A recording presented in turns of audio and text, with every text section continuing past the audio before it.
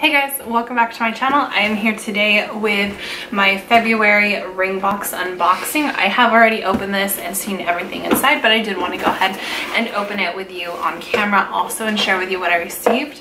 So when you open it up, this is basically what it looks like. I didn't put everything back in its place, um, but every box comes with this little booklet that tells you everything that's inside. And then the first thing is this really, really soft t-shirt like super soft.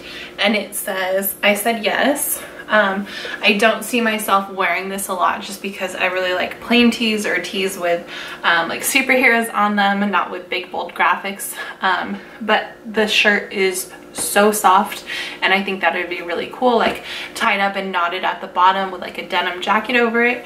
So I do really like it. Um, the color I've never been like a real big fan of pink but um, it's just so soft. So I really do like that. Um, moving into the rest of the box, I have this rose gold love balloon and garland. I did receive one of these in my Miss to Mrs box. So I have another. Maybe I can use it for like a bridal shower, a bachelorette party or something.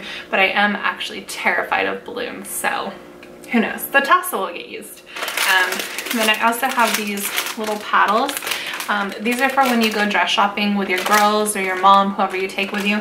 And this says say yes to the dress if they like it. And then the back of it says I've seen better if they don't particularly like that dress that you have on. So that's just kind of something fun to do.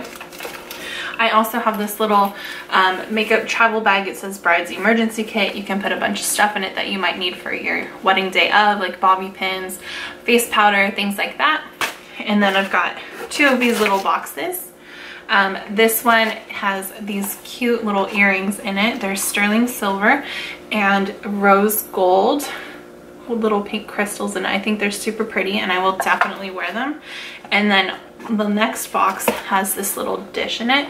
It's just a little ring dish that says Mrs and I take my ring off a lot when I'm washing my hands, when I'm applying lotion, hand sanitizer, things like that. So it'll be nice to have a little place to put it or to put my rings and to keep them safe. So that is everything that I received in my February, the ring box. I do really like it. I think I, I can get a lot of use out of the things in here.